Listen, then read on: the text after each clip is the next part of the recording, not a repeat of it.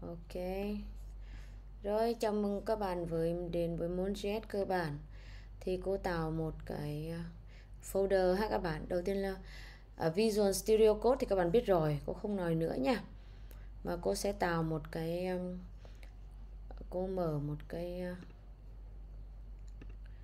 đây. Cô mở một cái thư mục là JS cơ bản ha. Uh, web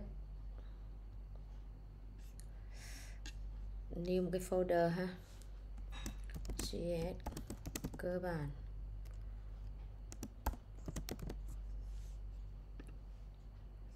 Ok.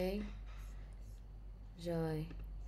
Thì trong cái thư mục JS cơ bản này ấy thì mình sẽ à, nếu cần thì mình có có thể để các cái folder CSS này. Đúng không?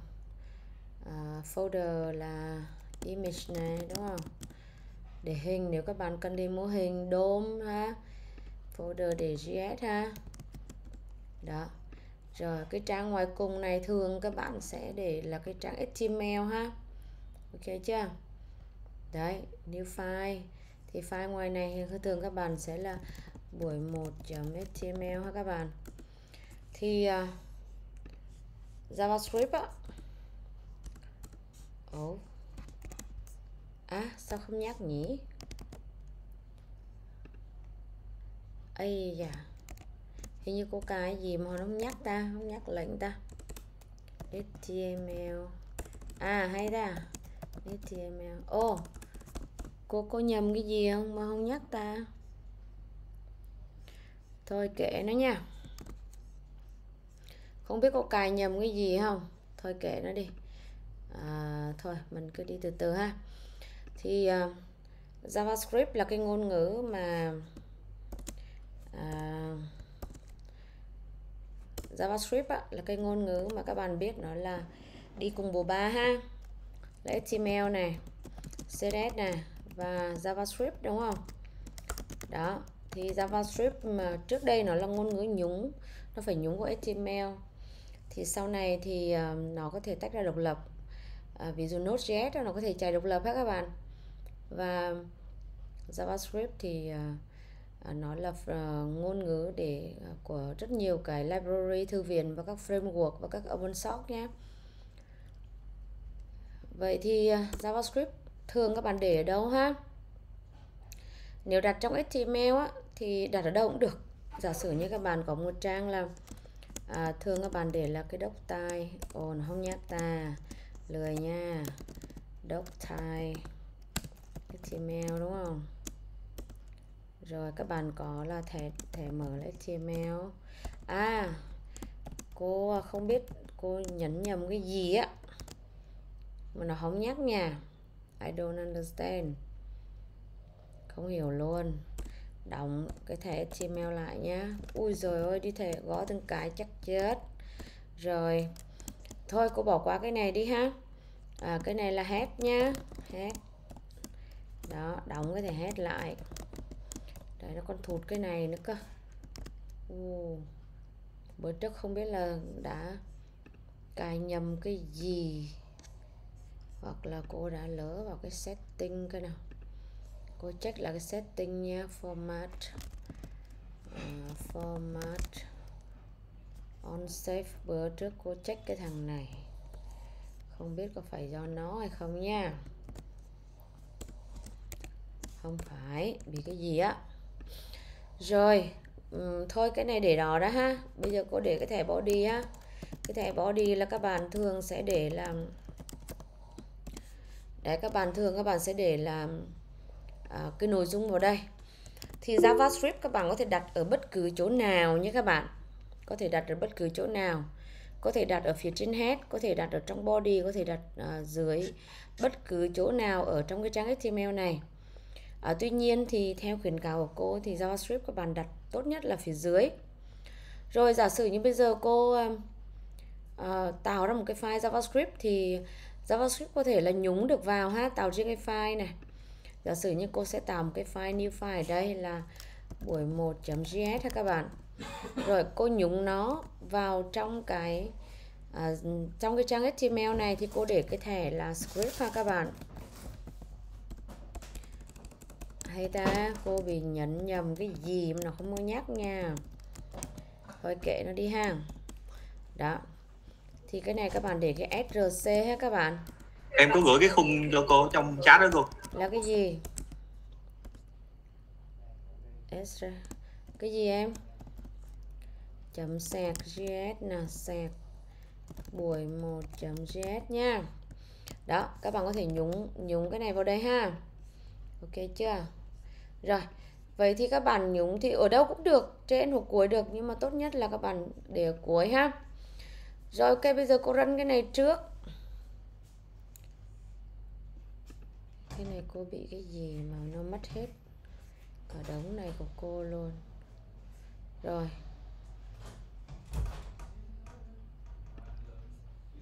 Cái gì à? bạn bạn gửi cái gì cho cô à không cần đâu ờ ok, cảm ơn em. Cô vừa run nó mà nó chưa lên nè. Lại server. Ui, không biết nó đang bị cái gì nha ây à rồi, xong. Rồi, nó không có live server. Cho cô được rồi, nó nó có vấn đề ha. Rồi, bây giờ thay vì để open live server này, các bạn có thể run trực tiếp của nó ha các bạn. Có thể run trực tiếp ha à là ta. Rồi, thì các bạn có thể vào thư mục của nó các bạn rân luôn. À cái này thì có một cái lỗi gì đó nhá. Rồi JS cơ bản nào. Đấy buổi một ha. Đấy, thì các bạn nhấn F12 nè, để các bạn à, chạy cái con số ha. Ok. Đây ok chưa? Các bạn có nhấn F12 để chạy con số này nha. Ok nha. Đấy cô gom nó lại để các bạn nhìn cho dễ nè. Rồi ok. À, bây giờ cô à, nói trước về cái kiểu dữ liệu ha các bạn. À, biến và kiểu dữ liệu ha. Thì à, trong JavaScript có hai loại kiểu dữ liệu đó là kiểu dữ liệu primitive. Ok chưa? Kiểu dữ liệu primitive. Ok. Primitive. À, đó là kiểu dữ liệu nguyên thủy ha. Nguyên thủy thì các bạn thường sẽ có là kiểu số nè number nè kiểu chuỗi nè string nè kiểu boolean nè rồi undefined nè rồi null nè. Đúng không ạ. À, đó là một số kiểu về nguyên thủy.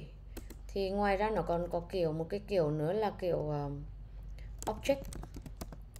Đúng không ạ kiểu object. Kiểu object kiểu đối tượng đó các bạn. Ok không ạ? Thì đây là các kiểu dữ tức là kiểu dữ liệu của cái JavaScript. Còn cách khai bỏ biến khai bỏ biến trong JavaScript thì có các bạn có ba cách đúng không ạ? Cách thứ nhất các bạn biết là let đúng không? Các bạn thường so sánh let với let x bằng 5 thì ta hiểu là số 5 là à, kiểu số đúng không ạ? Let string gắn bằng hello world ha. Thì cái hello world là chuỗi hay là let à, flag cờ gắn bằng true đó là kiểu boolean ví dụ như thế ok không ạ? Còn kiểu object thì ví dụ như là less sv sinh viên gắn bằng cái này được gọi là kiểu object ha. Đúng không ạ? Object đối tượng thì sẽ có là các cái cặp giá trị là gồm key và value. Ví dụ mã số sinh viên PS 0001 đúng không ạ? Rồi họ tên, đấy, hay là Hùng Anh chẳng hạn, đúng không? Thì cái này được gọi là các cặp key và value nữa các bạn ha. Thì cái này được gọi là object và SV này là kiểu object. Để kiểm tra xem nó là kiểu gì các bạn có thể dùng cái toán tử ở à, cái hàm tie up ha. Ví dụ các bạn là log ra log ra ví dụ như tie of của cái gì ạ? Của x đi ha. Thì nó sẽ log ra gì ạ? À, các bạn phải refresh ha. Kiểu number này x là kiểu number này. Ok. Rồi nếu mà lốc ra kiểu string, đúng không ạ? Đó, thì các bạn, nó là kiểu string. Còn sv thì nó sẽ lốc ra kiểu kiểu object kiểu object, đúng không ạ? Đó. Và nó có sự khác nhau giữa let, va và constant. Thì let và va thì nó khác nhau với cái phạm vi của của biến ha và constant thì các bạn biết là constant là hằng số ha các bạn. Nó là hằng số ví dụ như các bạn có hằng số pi bằng 3,14 thì khi đó các bạn muốn thay đổi nó pi gán bằng 10 các bạn lóc pi ra. Thì các bạn biết là nó sẽ bảo lỗi nó không cho phép mà à, gán giá trị. Đây là assignment gán giá trị cho một cái à, biến hằng nghĩa là hằng số nó fix giá trị rồi không cho gán lại nữa thì đó là hằng số ha các bạn. Vậy để đặt biến thì các bạn dùng led hoặc va. Còn uh, cụ thể led và va khác nhau cái gì? Thì uh, led là thường các bạn sẽ uh, khai báo nó chặt chẽ hơn va. Và cái phạm vi của led á, biến led á, nó sẽ là phạm vi của khối lệnh. Còn va nó chỉ có phạm vi ở trong hàm thôi đó khi nào học đến hàm thì nói kỹ hơn cái này nhé. Đấy hoặc là nó có sự khác nhau là giả sử như là uh, JavaScript thì là ngôn ngữ nó rất là tương đối dễ dãi ha. Đấy thì giả sử các bạn có thể gán là y gán bằng 10 thì nó không có lỗi. Các bạn có thể lốc ra y ha lốc ra y. Ok. Vì lốc ra y bằng. Đó lốc ra y. Ok cô xóa cái này đi nhé các bạn. Đấy, cái này lỗi ha. Mình xóa đi ha. Đấy, các bạn có thể lốc ra y ha. Y bằng 10 thì các bạn thấy là khi gán cái y này này à thì nó rõ ràng là không có ờ, cái cái cái khai báo biến. Cái từ khóa để khai báo biến nó vẫn gán bình thường ha. Nó không bỏ lỗi. Và giả sử ở dưới này các bạn khai báo lại, va y gán bằng 20 thì các bạn vẫn lốc ra y bình thường nó không bỏ lỗi. Đấy, lốc y lần hai ha. Thì nó cũng không lỗi ha các bạn. Mặc dù trùng tên biến này nó không lỗi ha nó vẫn lốc ra y bằng 20 Tuy nhiên giả sử như là ở đây thay vì để va các bạn để led ha thì rõ ràng nó sẽ báo lỗi ngay. Đấy. Nó bắt lỗi hosting các bạn. Tức là nó bảo là y này chưa được khai báo mà đã dùng rồi còn va thì không các bạn thấy không ạ? Bởi vậy á, khi các bạn làm việc với biến mà để cho chặt chẽ thì thôi, dùng led cho nó yên tâm. Không lỡ tôi khai báo đâu đó rồi một cái biến tôi dùng rồi xong lại tôi lại khai báo va lại, nó vẫn vẫn không không có lỗi. Và chương trình mình có thể lỗi, bị lỗi logic gì đó. Ok chưa đấy, thì cho nên là tùy các bạn, tùy tình huống. Nhưng mà chặt chẽ hơn thì vẫn là là led ha các bạn. Ok đấy thì đó là à, kiểu dữ liệu đúng không ạ? Khai báo biến. Nhớ nha có led có va và có constant. Ok. Rồi à, nhắc đến à, lập trình thì các bạn lưu ý là các bạn không thể nào để cô comment lại ha. Đây. Nhắc đến lập trình thì các bạn không thể nào không nhắc tới cái à, toán tử ha các bạn đây, toán tử ha. Toán tử thì các bạn thường sẽ có toán tử số học này, đúng không ạ? Đấy, toán tử số học này. Đây, để cô toán tử, ok. Đấy, thì tắc có là một là toán tử số học, đúng không ạ? Toán tử số học thì số học thường các bạn có cộng đúng không ạ? Cộng nè, trừ nè, nhân nè, chia nè. Chia lấy phần dư, phần trăm, tức là chia để lấy cái phần dư của nó. Ví dụ như là 10 chia cho 2 thì nó sẽ là dư 5 à quên, dư không, xin lỗi. Còn 10 sẹt cho 2 thì là bằng 5 nhưng 10 phần trăm 2 thì là sẽ bằng 0 tức là lấy cái phần dư. 11 phần trăm 2 thì sẽ là bằng 1 cho nên dấu phần trăm này sẽ là chia dấu lấy phần dư. Thì toán tử số học này gọi là toán tử số học hai ngôi. Ngoài ra còn một toán tử một ngôi là cộng cộng trừ trừ ha. Cộng cộng trừ trừ. Thì cái này gọi toán tử một ngôi nhé các bạn. Đó. Rồi, toán tử thứ hai đó là toán tử so sánh. Toán tử so sánh. Toán tử so sánh thì các bạn có cái gì ạ? À, bằng bằng này là so sánh bằng đúng không ạ? Khác nè. So sánh khác nè. Đúng không ạ? Rồi lớn hơn này. Nhỏ hơn này lớn bằng này nhỏ hơn bằng này đúng không ạ? Rồi ngoài ra có một cái toán tử nữa là trong JavaScript có ha gọi là bằng bằng bằng bao giờ bằng và khác bằng bằng. Đúng không ạ? Thì à, cái toán tử này nó khác toán tử bằng bằng đều là so sánh bằng hết nha. Nó khác nhau chỗ nào nhé các bạn?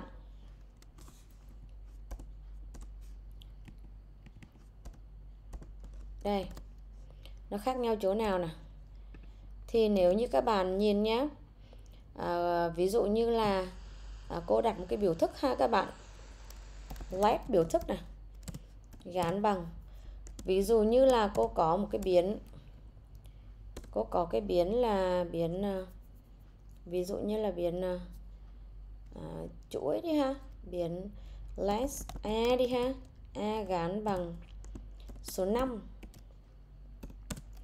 và less b gán bằng 5 đấy.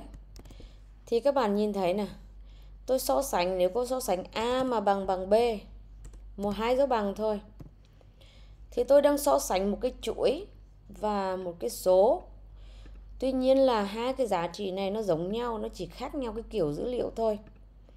Thì các bạn sẽ thấy là cái biểu thức này nó sẽ trả về cái gì đấy ạ? Log biểu thức này. Biểu thức này nó trả về gì ạ? À nó sẽ trả về là true ha. Nó trả về là true. Nghĩa là nếu là hai dấu bằng thì liền nhau nhé thì nó chỉ so sánh cái value thôi nó không quan tâm kiểu dữ liệu là gì, tôi chỉ so sánh value thôi. Thì miễn là nó bằng value là được rồi. Nhưng nếu như ở đây các bạn để thêm một dấu bằng nữa, ba dấu bằng thì nó sẽ so sánh cả kiểu dữ liệu và cả value. Có nghĩa là kiểu dữ liệu phải giống và value phải giống. Thì ở đây các bạn để nó sẽ trả về là false. Đấy. Thì ba dấu bằng nó sẽ chặt chẽ hơn hai dấu bằng. Tương ứng với khác thì ngược lại đúng không ạ. Đấy. Giả sử như là bây giờ nếu như cô bỏ số 5 này, như thế này, thì nó sẽ trả về true. Hai cái này nó bằng nhau trả về true. Có nghĩa là nó sẽ bằng cả, giống nhau cả cả gì ạ? Cả kiểu dữ liệu và giống nhau cả value. Đúng không? Đấy. Ok không ạ? Thì nó mới trả về true. Còn ngược lại thì phone hết. Đúng không ạ? Ví dụ như là khác nha. Còn ngược lại là phone hết. Được chưa trả về phone ok. Rồi, nó nó phải giống nhau cả hai. Cái này chặt chẽ hết nha. Chặt chẽ. Rồi, vậy đó là sự khác nhau của hai dấu bằng và ba dấu bằng. Các bạn lưu ý cho cô. Khi hỏi cái này thì nhiều bạn trả lời không có được, ha. Rồi. Toán tử cộng cộng và toán tử trừ trừ. Đây. Thì, ví dụ các bạn có là less a bằng 5 xong các bạn để là a cộng cộng cái này được gọi là một biểu thức nha. Cái này được gọi cũng được gọi là một biểu thức các bạn nhé. Nó đứng độc lập. Thì bản thân a này sẽ được tăng lên một nhé các bạn. Và nó giống với nó tương đương với cộng cộng a. Khi nó đứng một mình thì a cộng cộng và cộng cộng a thì như nhau. Tại vì kết thúc cái biểu thức đấy thì a vẫn được tăng lên một. Sau khi biểu thức này thực hiện xong thì a nó sẽ được tăng lên một. Đúng không ạ? Đó. À, tuy nhiên nó sẽ khác nhau khi nó sẽ được à, nằm trong một cái một biểu thức khác. Cô lấy ví dụ. Cô đặt một cái biểu thức là b gán bằng b gán bằng b chính nó ha cộng với cộng cộng a cộng 10 như vậy. Vậy thì khi này á khi này là cái vị trí của a khác rồi vị trí của a sẽ ảnh hưởng đến cái giá trị của b. Thu được. Đúng không ạ? A không đứng một mình nữa. A đứng một mình thì dễ. Bây giờ a không đứng một mình nữa. Hiểu không ạ? Thì vậy ờ, nếu như cái biểu thức này nè, nếu mà dấu cộng cộng đứng trước, thì các bạn phải hiểu là như thế này. Giá trị của a sẽ được tăng lên một trước khi biểu thức này nó thực hiện. Nó nghĩa là cái cái a tăng lên một này được viết trước. Vậy cái biểu thức này cô sẽ được viết lại như sau. Viết lại như sau. Nhé cô sẽ tăng a trước, nghĩa là a bằng a cộng 1 trước. Tăng a lên một trước. Bản thân cộng cộng nghĩa là tăng trình nó lên một nhé vậy a bằng a cộng 1 trình nó lên một trước. Sau đấy cô mới gán b, gán bằng b cộng a cộng 10 có nghĩa là một cái biểu thức này cô tách thành cái biểu thức, hai biểu thức nhỏ có nghĩa khi để a sẽ được tăng trước, sau đấy mới thực hiện đến biểu thức của b. Có nghĩa là khi đấy a sẽ bằng 6 xong rồi 5 cộng 6 cộng 10 nó sẽ là 16 ok không ạ? Vậy là giá trị này sẽ là 16 và a sẽ là 6 à quên. Cái này 6 với 5 là 21 chứ à, quên 11 với cộng 10 là 21 quên nhầm. Đấy, các bạn có thể lốc lại nhá. Có thể lốc lại nè đây, lốc sau vị trí này nè. Lốc sau vị trí này nè. B nè. Là các bạn biết ngay ha. Đấy. Thì b bây giờ nó sẽ là 21 ok không ạ? Rồi. Vậy nếu nếu để thay cái này là cộng cộng a bằng a cộng cộng thì vấn đề gì xảy ra? Nếu cái này để a cộng cộng thì sao? À khi đó thì ta sẽ hiểu là a sẽ được cộng sau khi biểu thức này thực hiện. Vậy tôi sẽ viết lại là, viết lại là gì ạ? Là b bằng b cộng a cộng 10 trước. Sau đó a mới bằng a cộng 1 có nghĩa là a này được cộng.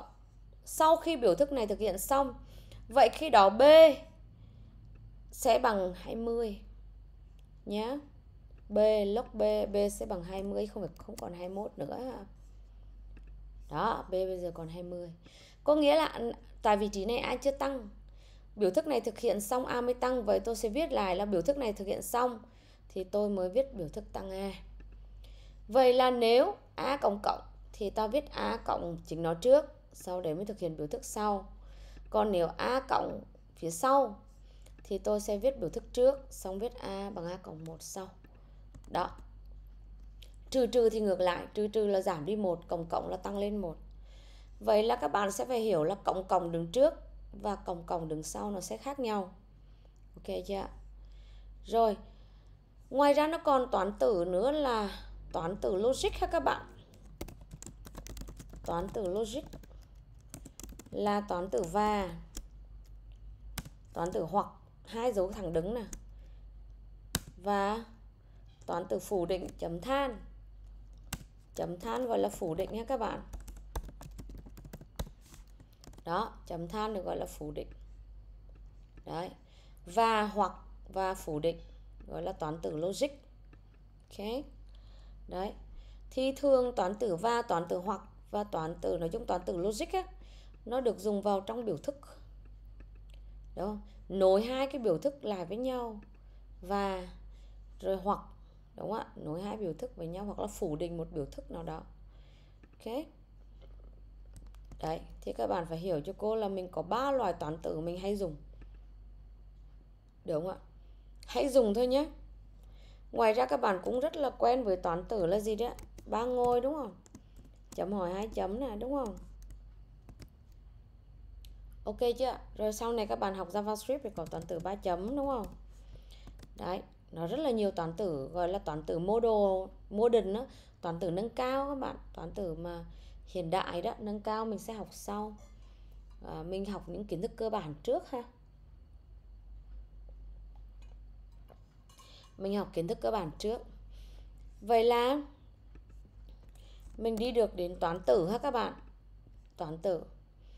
Lưu ý là toán tử dùng để các bạn à, tạo ra một cái biểu thức ha các bạn. Nó gồm toán tử và toán hạng ha. Ok. Rồi xong vòng toán tử thì bây giờ mình đến phần gì đấy ạ? Mình đến cái phần gọi là phần à từ khóa hả? Từ khóa thì các bạn để ý là cái nào đổi màu thì nó sẽ là từ khóa if do why gì đó ha. Đấy nó nhiều toán tự nhiều từ khóa lắm. Thì mình nói sau ha. Rồi à, mình nói câu lệnh đi ha. Câu lệnh điều khiển. Câu lệnh điều khiển thì um, ok có comment cái thằng này lại nhé. Đây cô đóng anh này lại ha các bạn. Đây. Rồi.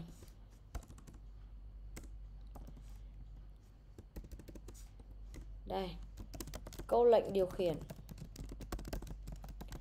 câu lệnh điều khiển thì cái này các bạn phải học thôi. Các bạn phải làm đi làm lại và các bạn phải quen thuộc với nó. Bởi vì nó là cái câu lệnh cơ bản tất cả mọi ngôn ngữ lập trình nó đều có. Thì à, mình có thứ nhất là câu lệnh rẽ nhánh. Câu lệnh rẽ nhánh thì có câu lệnh if và câu lệnh switch ha. Câu lệnh if các bạn quá quen thuộc rồi ha các bạn. Nó để là à, cho phép các bạn chọn hoặc cái này hoặc cái kia tức là đã rẽ nhánh thì các bạn chỉ chọn được một cái thôi. Thì ví dụ như là, ví dụ như là câu lệnh if ha. Ví dụ như các bạn là nhập một số đúng không cho một số, kiểm tra số đó chẵn hay lẻ, hoặc là tìm mắc min hay số, đúng không ạ? Đấy. Ok. Thì à, câu lệnh của nó sẽ là nếu ví dụ như các bạn có một cái số let let a gắn bằng 10 thực ra là các bạn không biết a bằng mấy cả. 10 là do cô gán thôi. Nhưng nếu nhập vào thì không thể biết là bằng mấy. Để kiểm tra số đó là chẵn hay lẻ? Thì về nguyên tắc là các bạn phải biết là à thế nào là số chẵn, thế nào là số lẻ, đúng không? Đấy, số chẵn là số chết cho hai. Số lẻ thì à, không chết cho hai ở đây à, bài toán các bạn sẽ đặt câu hỏi ủa sao dễ vậy? Cô cho chi à sao giải thích bài này gì kỹ à thực ra thì nó lại là rơi vào cái vấn đề gì các bạn? Nghĩa là các bạn phải phân tích nó trước. Trước khi làm một bài các bạn phải phân tích nó. Chứ không phân tích được là không làm được. Mình phân tích từ bài nhỏ rồi mới đến được bài lớn. Nếu các bạn bỏ qua cái bước phân tích á, là các bạn sẽ hoang mang đến lúc mà bài lớn các các bạn không biết làm cái gì. Đúng không ạ? Đấy nó khó vậy đó. Thì tóm lại là mình tập phân tích. Cái này mình gọi là luyện tư duy ha. Luyện tư duy đi ha. Rồi à, vậy là số chẵn thì sao ạ? À? bây giờ mình chia cho. Mình chia cho hai less remainder. Remainder là phần dư ha. Bằng a phần trăm cho. Hai tức là chia để lấy phần dư. Chia cho hai để lấy phần dư. Đúng không a là được nhập vào đó, nhưng mà cô gán trước đi ha, các bạn khỏi nhập. Rồi các bạn mới kiểm tra cái phần dư này, nếu mà bằng không thì là số chẵn rồi. If r bằng bằng không. Đấy, các bạn thấy là mình bây giờ áp dụng toán tử á. Bằng bằng so sánh là nếu r mà so sánh bằng không thì các bạn lốc ra gì đấy ạ? A là số chẵn. Else. Thì các bạn lốc ra a là số lẻ. Rồi các bạn sẽ để ý nào. Ở đây các bạn thấy là khi cô dùng câu lệnh if nha thì câu lệnh if nó thực hiện sao các bạn? Nó sẽ đọc, y như các bạn đọc á. Nếu số dư mà bằng không thì tôi xuất ra dòng này. A là số chẵn. Còn ngược lại ngược lại có nghĩa là không bằng không. Có thể bằng một. Số lẻ thì đương nhiên bằng một sẽ các bạn bảo là không để bằng một? Mình không bao giờ mình để bằng một cả tại vì một đứa bằng không rồi, mình để else, chứ mình không để là if, r bằng bằng một nhé các bạn. Số lẻ các bạn bảo chia cho hai thì nó sẽ bằng một chứ bằng mấy? Hên xui, chắc gì đó bằng một. Tôi chỉ biết là r mà bằng không là số chẵn. Còn ngược lại, tôi đem về hết số lẻ. Hiểu không ạ? Để lỡ có tình huống khác xảy ra thì sao? Các bạn thắc mắc, nhiều bạn thắc mắc hỏi cô là ố tình huống khác là tình huống gì? Không biết được. Đôi khi nó lỗi gì đó, nó nhảy ra một cái khác rồi sao? Forever else. Thì cái này có một câu chuyện nha các bạn. Đây nè, có hai câu chuyện xảy ra ở đây, cô muốn chia sẻ với các bạn này. Câu chuyện thứ nhất là dấu móc này các bạn này. Dấu móc nhọn này á, là dấu bao của khối lệnh. Có nghĩa là nhiều hơn một câu lệnh thì gọi là khối lệnh thì giả sử như là cô chỉ có một câu lệnh thôi, không phải là khối lệnh nhá. Thì cô hoàn toàn có thể bỏ cái dấu này đi nữa các bạn. Hoàn toàn bỏ dấu này đi được nhá. Thấy chưa? Không lỗi nhá, không lỗi. Kể cả ngôn ngữ Java, ngôn ngữ C cũng thế, không có lỗi. Nó chạy pha pha đúng không? Là số chẵn, đúng không? Nó chạy pha pha không lỗi à đó là một câu chuyện ha. Nhưng tại sao cô lại để dấu móc ha, tại vì sau câu lệnh ít câu lệnh eo mà có một câu lệnh thôi. Ha, thì không cần để dấu móc nhọn nhưng tại sao cô vẫn để dấu móc nhọn các bạn để ý là khi cô để dấu móc nhọn á thì nó sẽ hình thành cái khối lệnh các bạn nhìn dễ hơn. Ha và hai, nó là một vài cái nguyên tắc khi các bạn đi lập trình á. Giả sử như sau này các bạn đi làm ở một công ty nào đó, người ta sẽ có quy ước mà cụ thể là ví dụ F sharp chẳng hạn. Thì sau if, sau for, sau while do why bắt buộc phải để dấu mốc nhọn dù nó một hay bao nhiêu câu lệnh. Không để dấu mốc nhọn được coi là một lỗi. Mà một lỗi thì phải sửa thôi. Ok không ạ? Rồi đó là một cái vấn đề chia sẻ các bạn nhé. Cho nên các bạn nên đặt cái thói, để cái thói quen của mình ấy, sau if, sau for while cứ để cái dấu mốc nhọn cho cô. Ok, thành cái thói quen ha. Rồi có một cái thứ hai nữa là sau if luôn luôn có else. Mặc dù else không làm gì cả. Nếu else không làm gì thì các bạn comment lại, đừng để nó làm gì, để không. Đấy, để comment đây là do nothing, không làm gì cả vậy thì nếu là số 10 thì nó sẽ in ra là à, số trắng nhưng mà nếu số 11 thì nó không in ra gì cả. Đó là ý đồ của tôi không muốn in ra. Nó để rỗng. Có nghĩa là dù để cái gì hay không để cái gì thì các bạn vẫn phải khi if là có else luôn luôn có else. Đấy giống như các bạn làm việc sau này các bạn học các có trai cat cho các bạn cat luôn luôn có cat kết để bắt lại cái lỗi nó tránh răng văng ra những cái lỗi vớ vẩn đó các bạn. Ok không ạ? Đấy đấy là một cái điều thú vị và nếu if không có else được coi là lỗi. Cho nên khi bạn bạn viết if là luôn luôn có else. Đấy, đó là quy ước của một đơn vị nào đó chứ không phải là quy ước của cốt như các bạn. Cốt nó không có lỗi. Sau if không cần có eo nếu không cần. Nhưng mà có một số nơi họ quy định vậy đó. Lúc có if khi viết if phải có else. Đấy, đoàn cốt nào cũng phải có jacket vì không có jacket là không có chơi. Như thế ha. Đấy thì đó là một vài cái vui vui chia sẻ với các bạn ha. Thì câu lệnh ip nó đơn giản vậy thôi. Nhưng mà cái quan trọng nhất của các bạn là các bạn phải nghĩ ra được cái phân tích được cái điều kiện này này. Đặt như thế nào cho nó hợp lý ha. Đấy và một cái ví dụ đơn giản thôi. Còn khi các bạn muốn mà hay muốn giỏi thì phải làm nhiều không có cách nào khác nhé câu lệnh if là câu lệnh rẽ nhánh. Rẽ nhánh thì có rẽ một nhánh hoặc nhiều nhánh. Cái này có hai nhánh à? Còn có thể nhiều nhánh nữa if eo if ha. Thậm chí là câu lệnh if lồng nhau thoải mái luôn. Ok. Ví dụ như if eo if là như này. Thường cái bài toán if eo if là bài toán là à, ví dụ như là xếp loại. Các bạn hay nghe đúng không? Xếp loại đấy. Ví dụ như cho bài toán là nhập điểm và in ra xếp loại của một sinh viên nào đó. Nếu à, lớn hơn bằng 9 đúng không?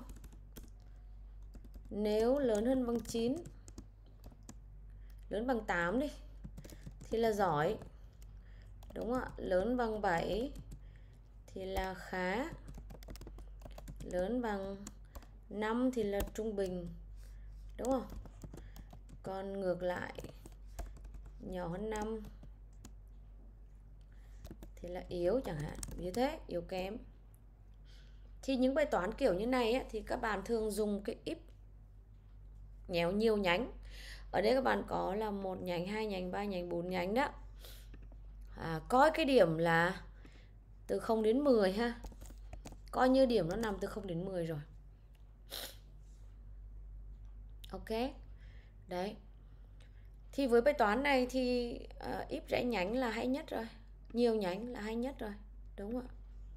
Đấy. Vậy thì cô có là if.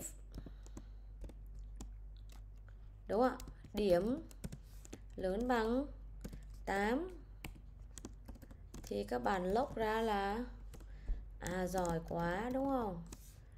Rồi, else ngược lại. Ngược lại xong if cây nữa. Nếu, tại vì nó còn nhánh nữa mà. Điểm lớn bằng 7 thì cũng lốc ra gì ạ? Lốc ra là khá. Đúng không? Lại else cái nữa rồi if đúng không ạ? Điểm lớn hơn bằng 5 đó, thì các bạn lốc ra trung bình. Đúng không? Còn nhỏ hơn 5 thì đã lớn hơn 5 rồi, thì trường hợp còn lại else sẽ nhỏ hơn 5 đúng không ạ? Thì lốc ra yếu, đúng không? Đấy thì bài toán của mình là như vậy. Nó sẽ gọi là if bậc thang, nhiều nhánh, đúng không ạ? Đó ít bậc thang nhiều nhánh. Thì tùy tinh từng bài toán nhé các bạn. À, để các bạn chọn cái if hay eo if ok.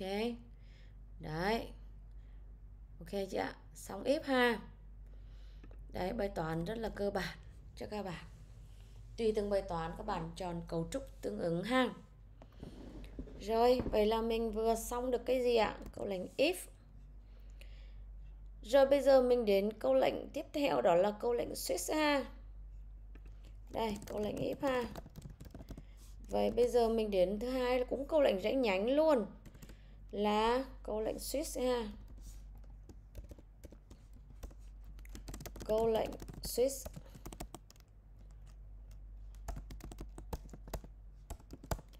câu lệnh switch rồi, cô comment cái đống này lại.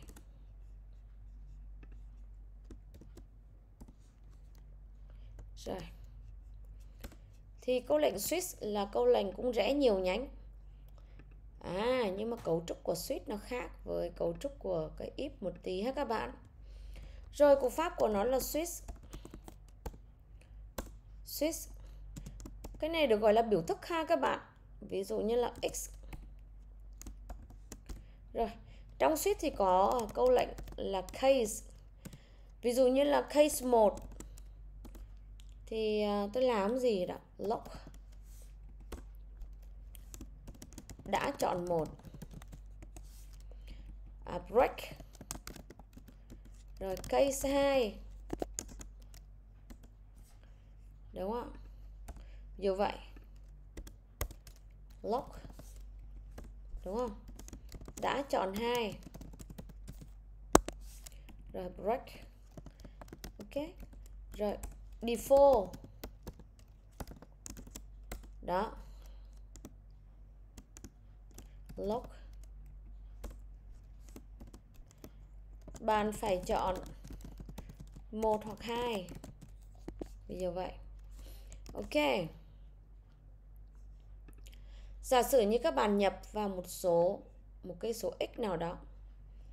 Sau đấy thì bạn à, nếu số bạn nhập là một thì nó sẽ lốc là một và nó thoát break thoát ra khỏi cái câu lệnh switch còn nếu bạn không nhập một mà bạn nhập hai thì nó sẽ à, bỏ qua cái này nó không làm việc trên cái này.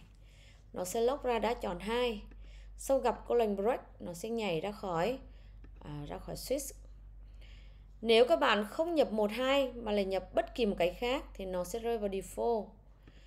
Và nó sẽ in ra cái thông báo nào đó ha. Có nghĩa là bàn tròn chưa đúng đấy. Hiểu không ạ? Bạn nhập cái khác, cái tôi mong muốn. đây giả sử các bạn có let x gán bằng một đi ha thì nó chắc chắn sẽ log ra đã chọn một đúng không ạ đã chọn một ok nếu các bạn để cái này là số 5 thì nó sẽ à lúc ra là bạn phải chọn một hoặc hai. Ok chưa? Đấy. Thì đó là câu lệnh switch thì trong câu lệnh switch có một cái đặc điểm như này các bạn nhé. Một là cái x này này, cái biểu thức x này, nó trả về value. X trả về giá trị. Giá trị số, giá trị chuỗi một cái giá trị nào đó, bất kỳ. Còn ở đây cái biểu thức ở trên if sau if này này, nó là luôn luôn trả về kiểu boolean nghĩa là khi bạn so sánh thì chỉ có đúng hoặc sai thôi. Hiểu không ạ? So sánh thì nó sẽ trả về là đúng hoặc sai. Đúng không ạ? Vậy biểu thức đúng hoặc sai thôi, nếu đúng thì nó thực hiện trong if còn ngược lại thì nó sẽ đi tiếp vào else thế thôi. Riêng anh này lại khác anh này nó trả về giá trị. Số 1, số 2, số 3 chuỗi ABC gì đó nói tóm lại là nó trả về giá trị. True hoặc false cũng là một giá trị nhé. Đấy tóm lại là nó trả về giá trị. Đó là điểm khác nhau thứ nhất.